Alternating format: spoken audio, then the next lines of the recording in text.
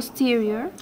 No. Post- No, that's This is anterior. anterior. Look at the look Yeah, at the adductor muscles. feet. We have a small muscle, and then the bigger muscle in the back. That is what distinguishes anterior from posterior mu- adductor muscles. Adductor muscle, mantle. The mantle, which lines the shell. The shell, which is used for protection. And this is the um, dorsal, and this is the ventral. Okay, dorsal is the opening. Ventral is the.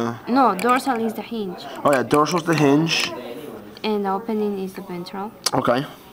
And We have the gills right here. If you point at 49, gills. the gills, and then we have the foot. These are the labial palps, right? These. Yeah, labial palps What is for the labial palps?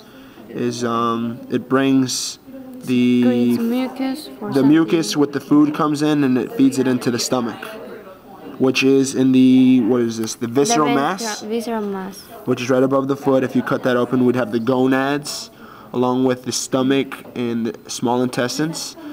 You can um, point to the uh, pericardial membrane. Oh, it's probably somewhere here. Look towards the top. Push that down. Hold on, hold on. I don't want to break it.